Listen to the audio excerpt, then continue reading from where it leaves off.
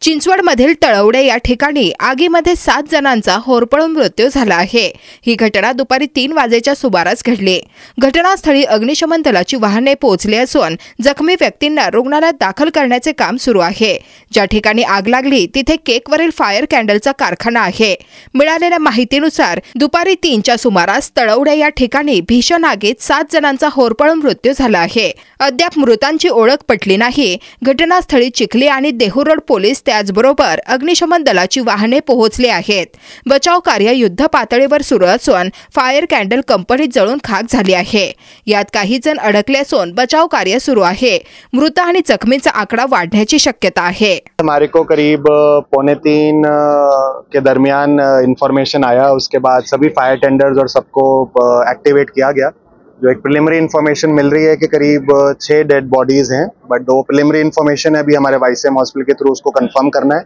और कुछ लोग माइनर मेजर इंजरीज के साथ उनको एडमिट किया गया है कुछ को वाईसीएम और ससून में।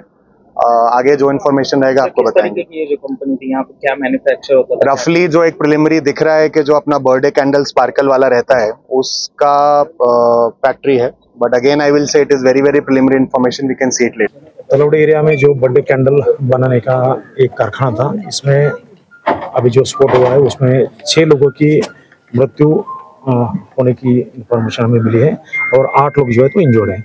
इंजोर्ड लोगों को हॉस्पिटल में भेज दिया है और उनका ट्रीटमेंट चालू किया है। बाकी इन्वेस्टिगेशन अभी जारी है। इस कारखाने को परमिशन थी नहीं इस कारखाने को परमिशन थी नहीं थी ये सब अभी इन्वेस्टिगेशन पता चलेगा लेकिन पुलिस से कोई ऐसा परमिशन इसमें नहीं दिया गया था। कि, कितने लोग कारखाने में काम करते थे? उसमें महिला और आजू बाजू के लोगों से जानकारी जो मिली है पंद्रह से बीस लोग यहाँ कारखाने में काम करने की संभावना है। उसमें से छह लोग जो है उनकी कैजुअलिटी हुए हैं और आठ लोग जो है इंजोर्ड है। इसको हिरासत में लिया गया है? नहीं अभी तो काम चालू किया है। इन्वेस्टिगेशन होने के बाद अभी गुना दाखिल होने के बाद पूरा काम किया जाएगा।